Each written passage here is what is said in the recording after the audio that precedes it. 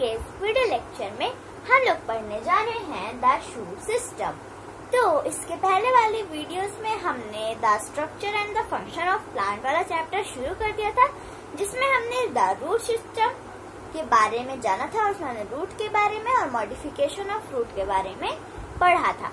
तो आज के इस वीडियो में हम लोग क्या पढ़ेंगे? द शूट सिस्टम तो शूट सिस्टम क्या होता है? शूट सिस्टम जो होता है aerial part of the plant aerial aerial मतलब ये हवा में होता है।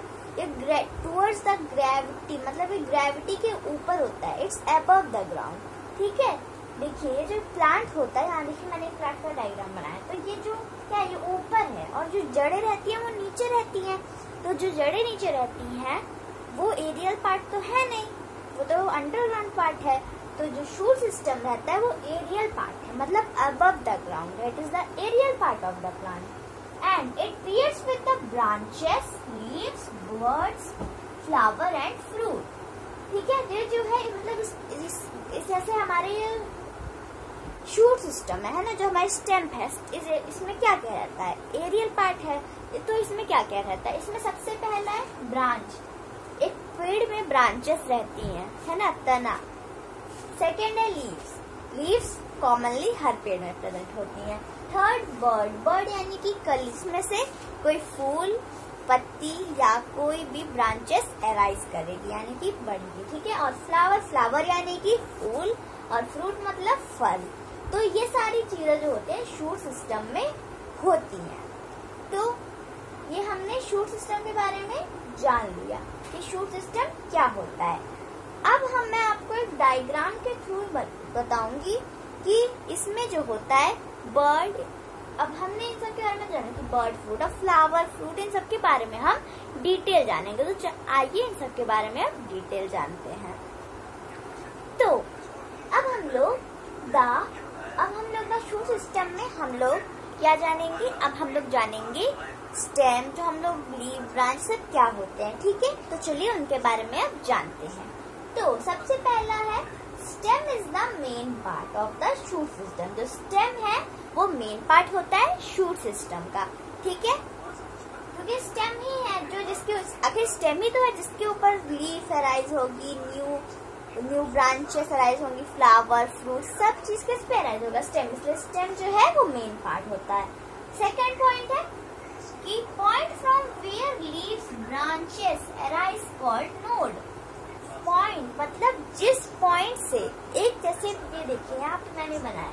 ये जो हमारा ये पॉइंट है है ना? ये जो हमारा पॉइंट है, जहाँ से सारी लीव्स अराइज कर रही हैं, ठीक है?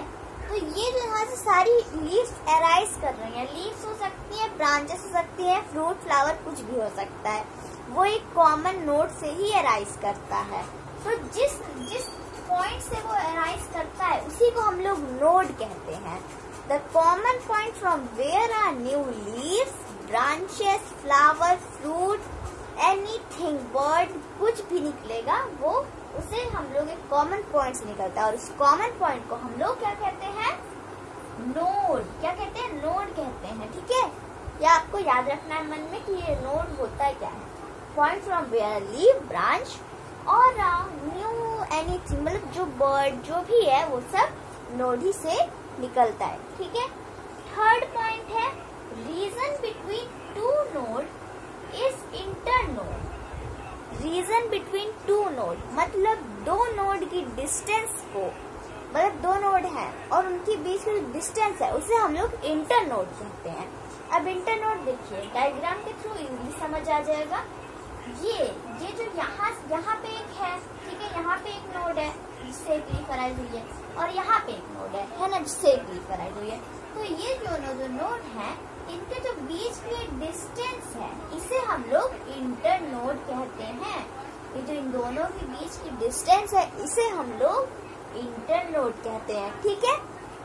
तो ये भी आपको याद रखना है, इट्स इम्पोर्टेंट तो इसे क्या कहते हैं? इंटर नोड तो हमने ये जाना कि क्या होता है। अब, जो हम लोग जानेंगे वो है bud what is a bud bud क्या होता है? तो सबसे पहले बर्ड ये जो आप देख रहे हैं, ये जो लीव्स है और इनके बीच में छोटे छोटे छोटे छोटे कुछ राइज हुआ है, आप लोग सोच रहे वो क्या है?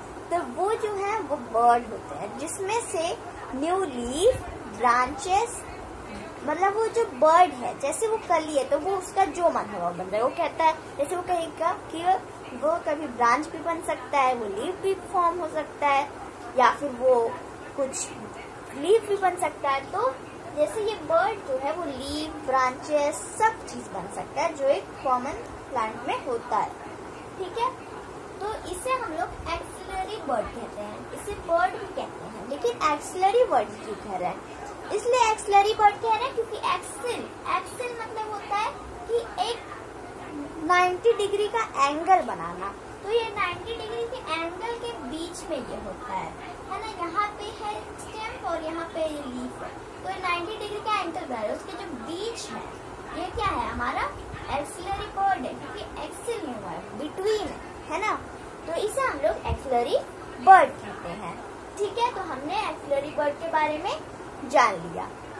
और it is a condensed shoot ये कंडेंस शूट होते हैं, क्योंकि इसलिए शूट करें, क्योंकि इसमें से कुछ भी बाहर आ सकता है। It may can have leave branches और anything which a common plant have ठीक है? अब ये सब हमने जान लिया कि एक स्टेम से ये बीच वाला क्या है? ये स्टेम है। तो स्टेम से कितना कुछ हो रहा है? वो लीफ अराइज हो रही है बर्ड अराइज हो रहा है और भी इतनी सारी चीज़ें अराइज हो रही हैं। Axillary bud leaf branches node internode इतनी सारी चीज़ें हैं। तो लेकिन इन सब प्रोसेस के अलावा भी जो स्टेम है वो और भी फ़ंक्शन करता है। टू जैसे हमारी बॉडी में वेन्स लगी होती हैं सर्कुलेशन करने के लिए और खाने को पूरे बॉडी में ट्रांसपोर्ट करने के लिए, वैसे ही।